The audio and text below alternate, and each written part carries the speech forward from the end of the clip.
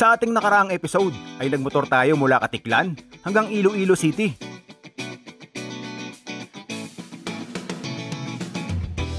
Sa pagpapatuloy ng ating moto adventure dito sa Visayas, ay patungo na tayo sa probinsya ng Negros Occidental. Sa ating gagawing paglalakbay sa Negros Occidental, ay muli kong ibabahagi sa inyo at ipapakita ang ganda ng bawat bayan na ating madadaanan.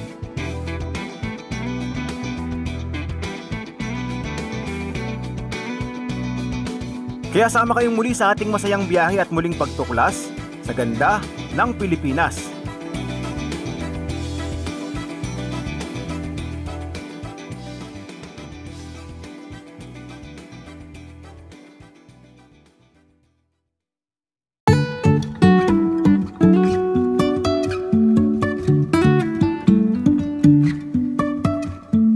Life is a winding road, no telling where it goes. Driving through days and nights, won't stop for traffic lights. And I. Okay, matapos ang isang oras at mahigit na biyahe, andito na tayo sa Port of Banago, dito sa Bacolod City. So ngayon ay kailangan na nating ah, bumaba ng barko. Okay. Oop, medyo mataas to. Yeah. Mm. Meron po.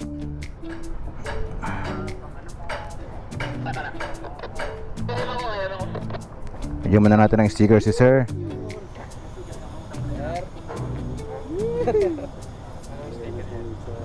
Kasi ito po. Salamat sir, salamat. Sir, salamat po. Yeah. Thank you, sir. Port of Banago, Bacolod City. Yan, ito yung port dito. Ayan, tingnan nyo na lang para masilip nyo din kung ano itsura ng port dito sa Banago, Bacolod. Yan. Wow! Buhay Rider PH! Yan! Tapos solid natin to na tropa dito sa Bacolod yan. Buhay Rider PH, solid nating tropa. Dito na tayo ulit sa Negros Occidental. Sige po, sige po.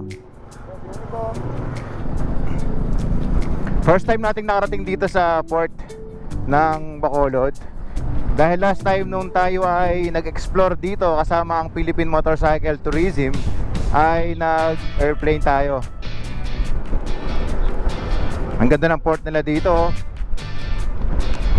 Dadaan ka sa coastal.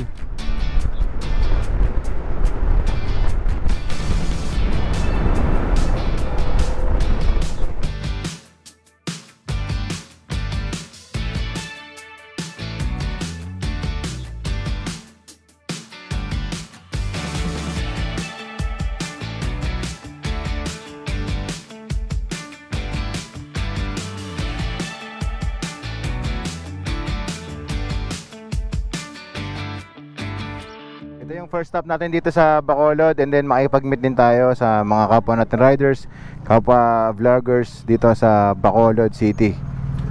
Welcome to the City of Smiles, Bacolod City! Narating na nga natin ang isa sa lungsod ng Negros Occidental, ang tinaguriang City of Smiles, ang Bacolod City.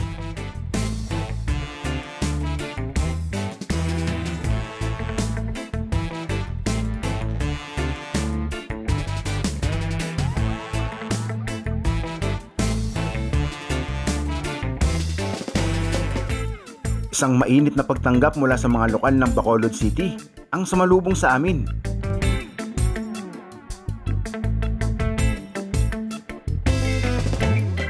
Grabe guys, tinan nyo naman kung gaano kasolid ang pagsalubong sa amin dito sa Bacolod City.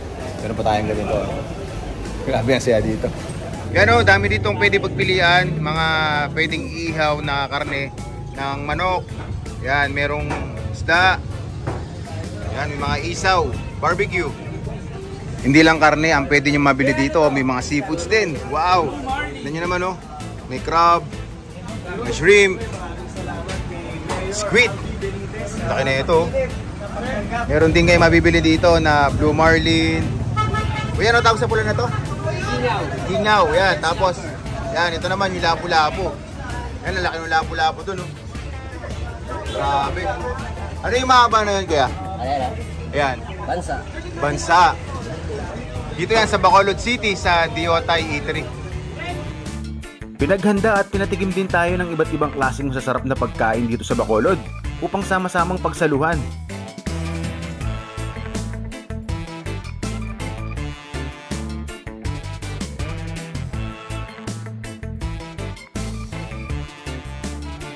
Siyempre, pag sinabing Bacolod, kilala yan sa masarap na inasal. So, siyempre, kasama yan dito sa sinuserve nila, ino-offer nila na pagkain dito sa Diotay ah, Restaurant. Yan. Ito natin. Mm. Napakasarap talaga ng inasal dito sa Bacolod. no? Matapos nating kumain at magpahinga sa Diotay Restaurant, ngayon naman ay patungo tayo sa Bacolod New Government Center o kilala din sa tawag na NGC.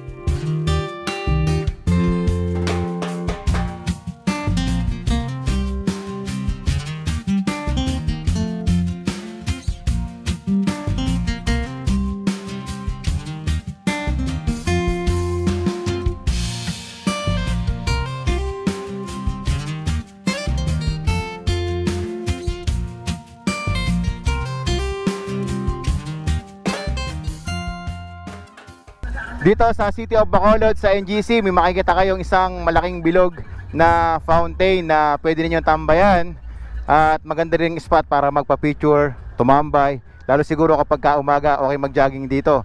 Sa gabi, mukhang maganda yung ilaw dito. Yan, may mga disenyo kayong makikita na bulaklak. And then doon sa bahagi na yon, makikita nyo yung isang malaking nakasulat na Bacolod.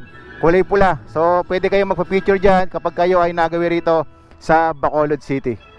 At talagang malaki ang binigay na ganda nitong fountain na ito dito sa NGC. At napansin ko din dito na may mga natitinda ng mga pagkain dyan sa gilid-gilid.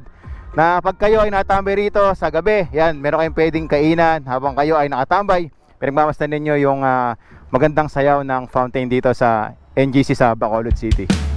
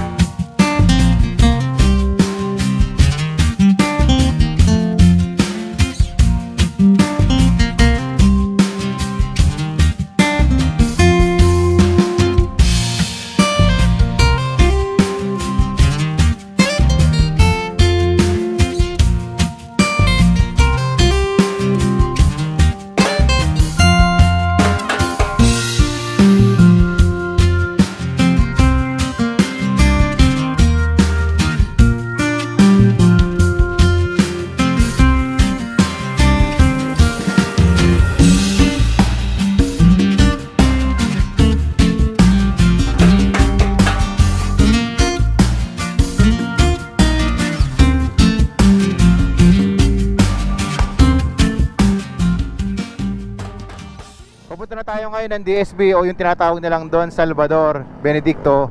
Yun yung na-share ko sa inyo nung tayo ay nag-explore dito sa Bacolod City. Pagkalipas lamang ng ilang minutong biyahe mula NGC, ay narating na natin ang isa sa bayan ng probinsya ng Negros Occidental, ang bayan ng Murcia. Dito ay dadaan tayo sa magagandang kalsada at napapalibutan ng maraming tubo o sugarcane.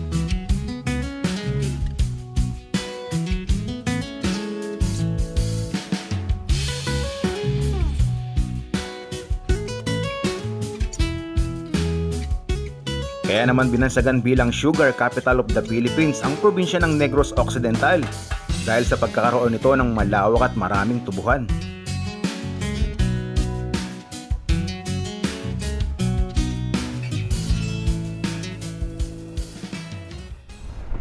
Andito na tayo ngayon sa Murcia. Dinadaanan ulit natin yung napakagandang kalsada rito. Isang malawak na taniman ng tubo. Ayan o. Oh. Ha, tinan nyo yung kabundukan sa gitna ng kalsada na makikita nyo rito. Ang ganda ng kalsada talaga dito sa Murcia. Isang diretso na magandang kalsada ng asfalto. Sarap ng simoy ng hangin. Sa pangalawang pagkakataon na natin to, namamangha pa rin ako sa ganda ng tanawin dito. oh. Ang ganda ng kabundukan. Berding berde yung makikita mo dito.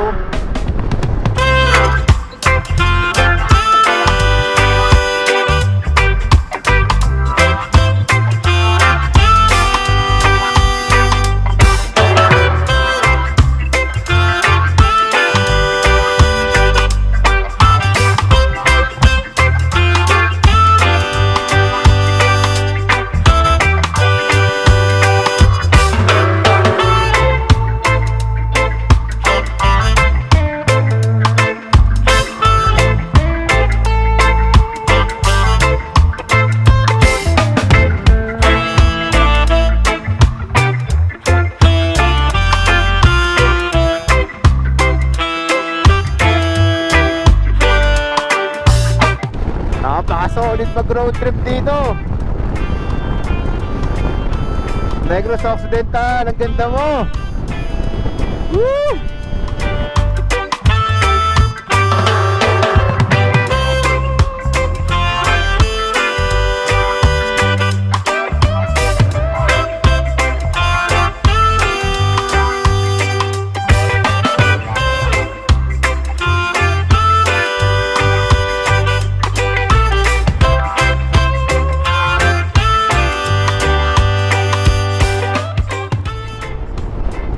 Tayo huminto nung nakaraan eh. Dito yung merong magandang spot. Yan, stop over muna tayo dito sa bahagi ng lugar na to. Dito sa Murcia. Sa pangalawang pagkakataon, narating ulit natin itong lugar na to.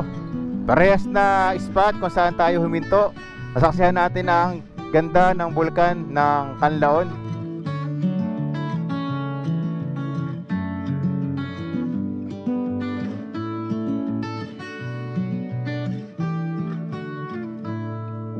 Dito naman sa baging to, makikita nating muli ang Mount Canlandog.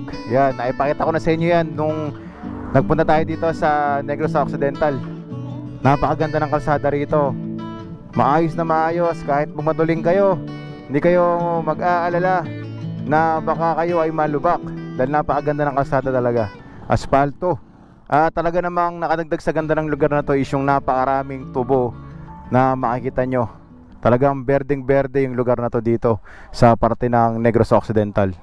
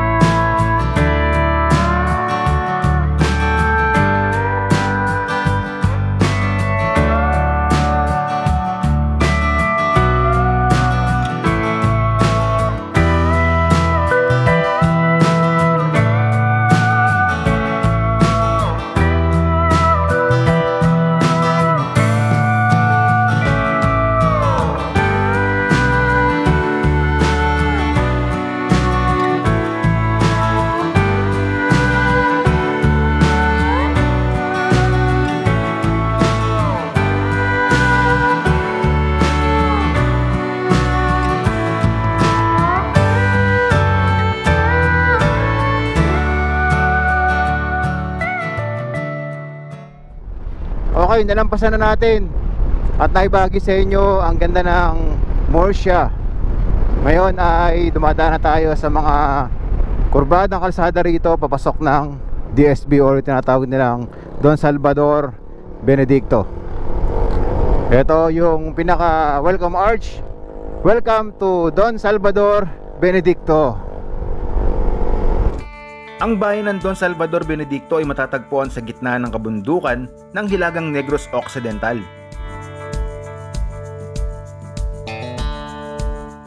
Ang bayan ng DSB ay pinangalan sa dating Vice Gobernador Salvador V. Benedicto na gumanap ng mahalagang papel sa pagtatag ng isang revolusyonaryong pamahalaan sa isla ng Negros noong ikalawang digmaang pandaigdig.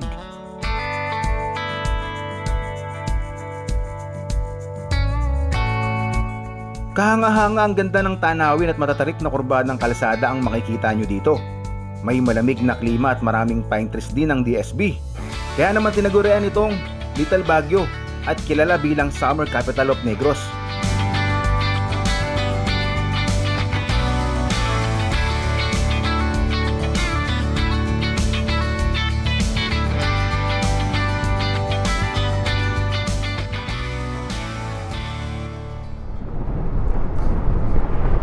Mga kurbada rito parang Cordillera region din, no? Ang matatarik.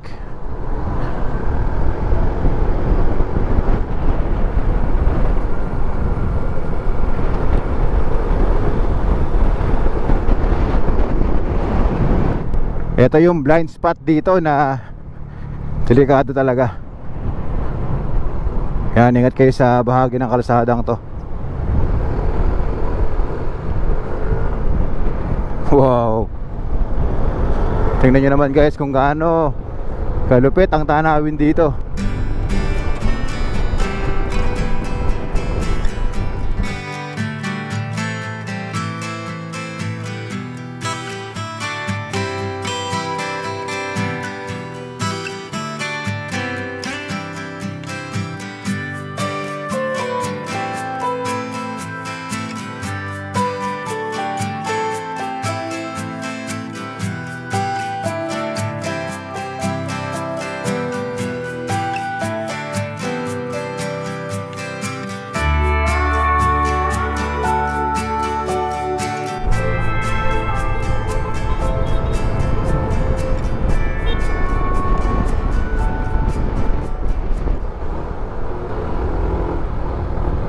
Sorry ko.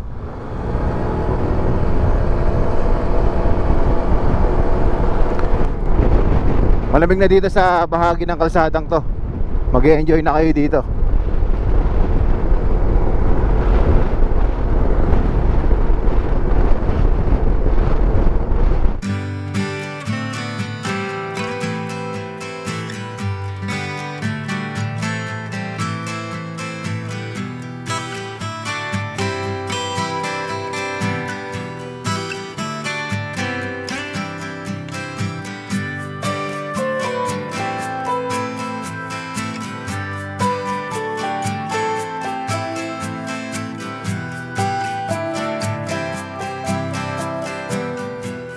Ito yung lugar na tinatawag na lang Little Baguio dahil may makikita kayo rito na leon. Puntahan natin. Yan. Sa Baguio, makikita nyo isang malaking ulo ng leon. Dito naman ay isang buong leon pero maliit lang. Matapos nating daanan yung napakagandang tanawin at magandang kalsada ng bayan ng Murcia dito sa Negros Occidental ay narating na natin ang tinatawag nilang Little Baguio dito sa Don Salvador. Benedicto yung tinatawag nilang DSB so kapag nandito na kayo mararamdaman nyo malamig na klima. Dahil nakita nyo naman kung gaano katataas yung mga inahon natin na mga kurbadang kalsada no? marami kayong makikita rito na mga pagkain na pwede ninyong bilhin at ito yung isa sa nagustuhan ko rito at ibabahagi ko sa inyo. Ito po yung tinatawag nilang taro chips o yung gawa sa gabi sa Tagalog. At ito kapag tinikman nyo, malutong. Sobrang lutong at malinamnam. Talagang masasabi mo na mas masarap sa piatos. Yan. Kapag nagawi kayo dito sa DSB, tikman nyo to at sigurado magugustuhan nyo to. Plaza. Plaza.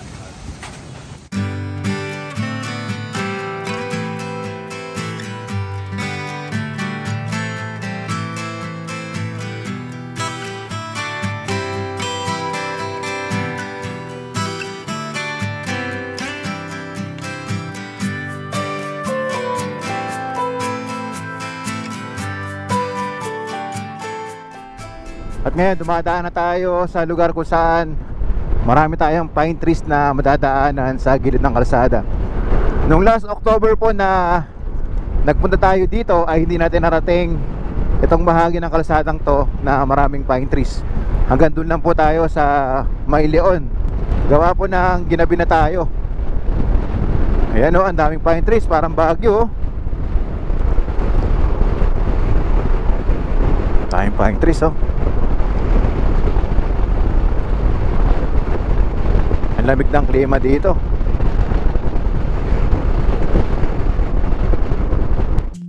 Pagkatapos nating marating ang isa sa mga tourist spot dito sa DSB, ang destinasyon naman natin ngayon ay ang isa sa paboritong kainan, kapihan, at tambahin ng mga riders dito sa DSB, ang Kubo ni Maria.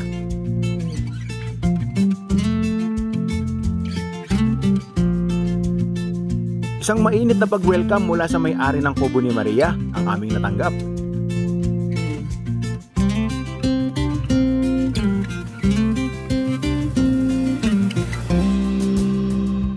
At isa pa sa talagang nakakataba ng puso is yung makita mo yung picture mo dito.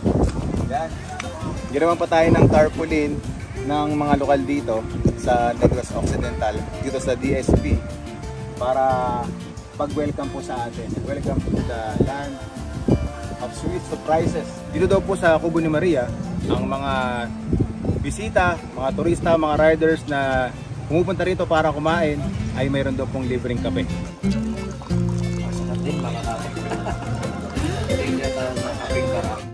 Ba't ibang klaseng mga local foods at kakanin ang pwede nyo matikman dito? Gaya ng specialty nila, ang batchoy at suman.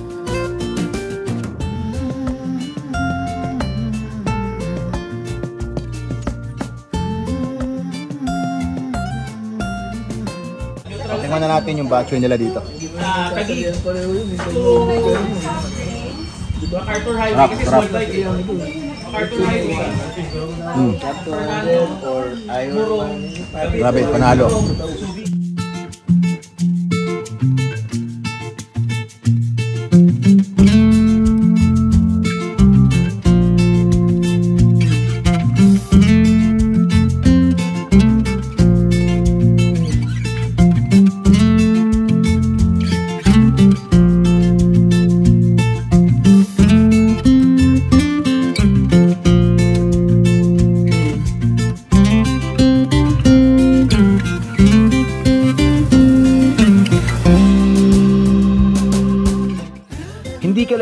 Kalayuan mula sa Kubo ni Maria ay may madadaanan kayong tourist spot dito sa kahabaan ng kalsada ng DSB. Isang makapigil hiningang view deck at nakakamanghang waterfalls.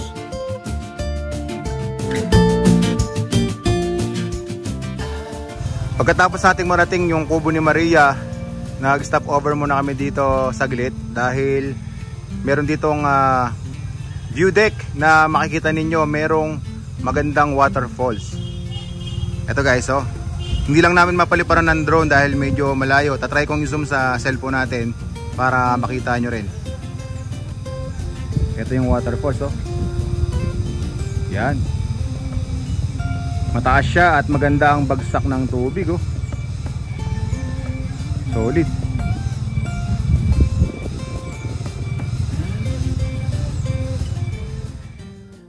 Mas malupit ang mga zigzag road dito apo sa bandang dulo no, ng DSB. Lumalamig na din yung hangin. Oo, mas malamig ng palamig. Napakaraming blind spot dito sa bandang dulo ng DSB oh. Kaya naman pala talaga ang inukumpara nila yung lugar na to sa Marilake.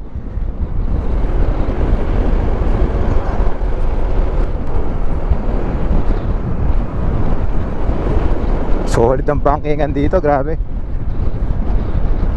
Ayun, San Carlos, right turn tayo.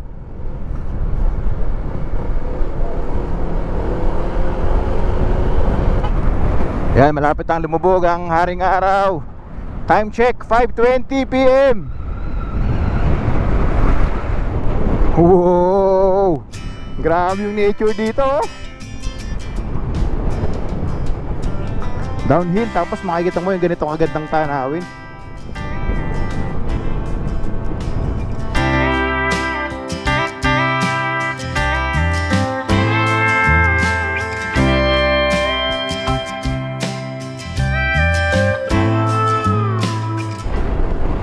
Andito na tayo ngayon sa San Carlos City.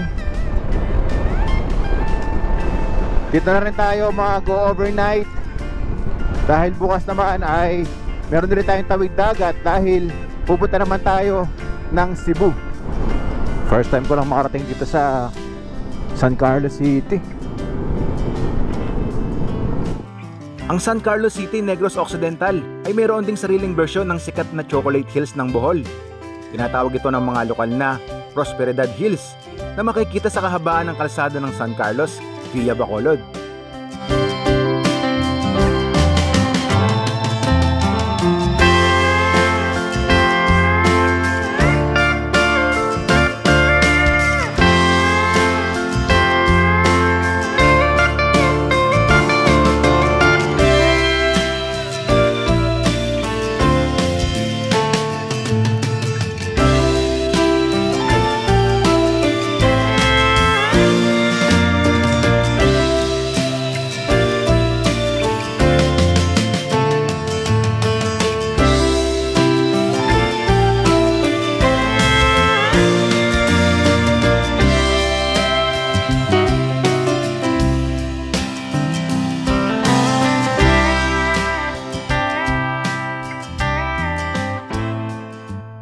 Nandito na tayo sa La Vista Highland Mountain Resort kung saan dito tayo mag-overnight. Yan, no? Ay, sa wakas, inabot na tayo ng dilim. Wow. Grabe, ganda rito ah.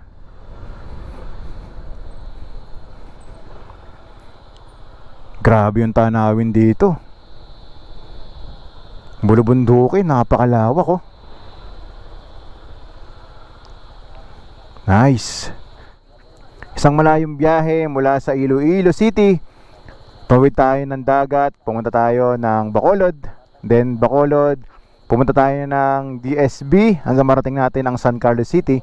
At ngayon, nandito na tayo sa Highland Mountain Resort. Okay, kailangan na natin magpahinga para bukas naman ay pupunta na tayo ng Cebu.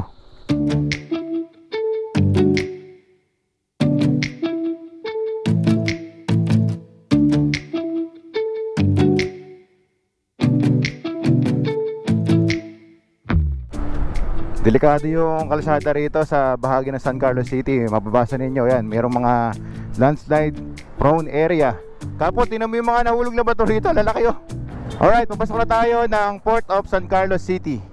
Para tayo na sa Cordillera. Grabe, taas! Woohoo! Yan yung bilang ng mga naka-aksidente rito at bilang ng mga namatay.